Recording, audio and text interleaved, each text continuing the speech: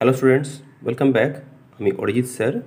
আমরা যে কন্টিনিউশন সেশনটা করছিলাম, তাতে আমরা এইচএসের অবজেক্টিভ এমসিকিউটা করছি। আজকে আমরা দু হাজার ষোলো সালের এমসিকিউ অবজেক্টিভ পার্টটা করব এইচএসে দেখতে থাকো। দেখো, প্রথম কোশ্চেন যেটা দিয়েছে মোলার পরিবাহিতার এসআই একক কোনটি?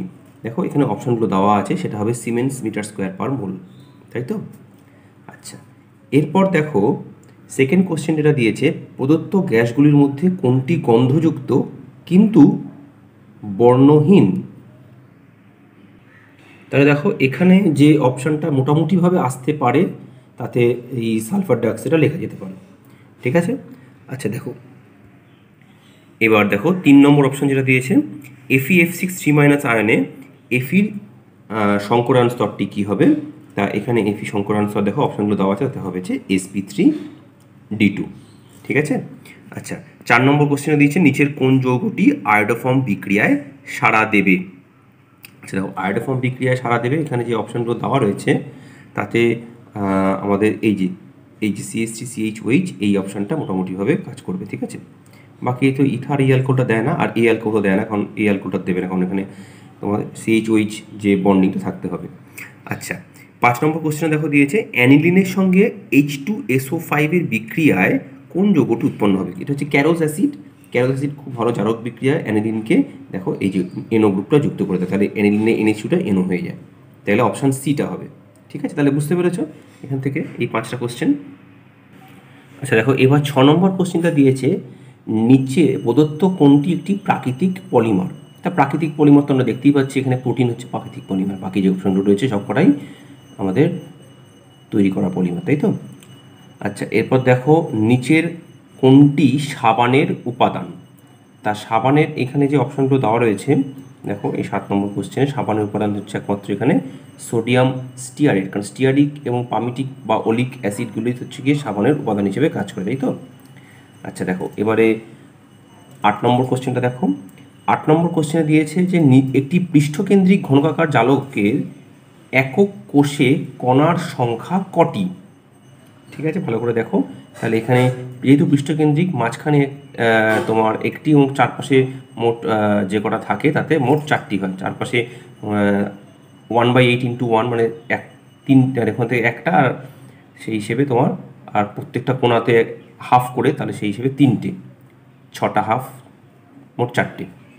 আচ্ছা এইবারে ন নম্বর কোশ্চেনে দিয়েছে, দেখো, যে নিম্নলিখিত কোলয়েড সিস্টেমগুলির মধ্যে কোনটি কুয়াশাকে সঠিকভাবে প্রকাশ করে? আচ্ছা কুয়াশা হচ্ছে গ্যাসে তরলের বিস্তারণ, ঠিক আছে? গ্যাসের মধ্যে তরল। তাহলে এইটা হবে অপশান ডিটা আচ্ছা এবার দেখো, এবার যে অপশানটা দিয়েছে, তাতে দশ দশ নম্বরে, প্রদত্ত থ্রিডি মৌলসমূহের মুক্ত গ্যাসীয় আয়নগুলির মধ্যে কোনটি পরাচুম্বকীয় ভ্রামকের মান সর্বাধিক?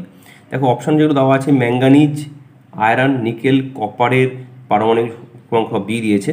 তা এটা যদি আমি ক্যালকুলেশন করে দেখি তাই এখান থেকে আমরা মোটামুটিভাবে ক্যালকুলেশন করে দেখা যাবে যে মোট যে তোমার অড ইলেকট্রন যেটা, বিজোড় সংখ্যক ইলেকট্রন সংখ্যা দিয়ে যদি ফর্মুলাটা ফেলি N into N plus two root over করলে, সেখানে আমরা ক্যালকুলেশন করলে এই দশ নম্বরের উত্তরটা অপশান বিটাকে পাবো ম্যাঙ্গানিজ প্লাস টু ঠিক আছে? আমরা ক্যালকুলেশনটা করে দেখালাম না, তোমরা দেখতে পারো ওটা।